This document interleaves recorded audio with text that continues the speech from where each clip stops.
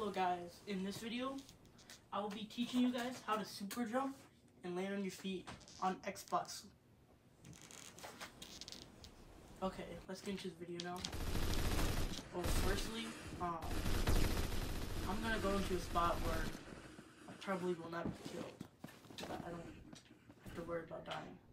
So, first, I'm pretty sure we all know how to just normally super jump. You just jump. Well, I like jumping, and then you just press LB. But you have to have a running start, so like that. You run, jump, and press LB. Makes you jump like that or dive. Next thing you want to learn is you have to press LT while you're still in the air, which makes you zoom in. So let's do that step now.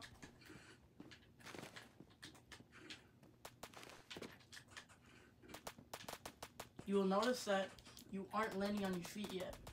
So another thing you have to do to land on your feet, you also have to press left joystick. Like, when I mean press it, I mean like you have to push it down so that it makes a clicky noise, right? Someone's trying to shoot me.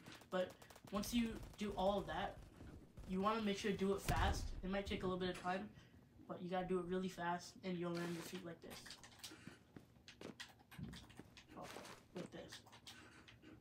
Remember, you want a running start. See, I'm landing on my feet.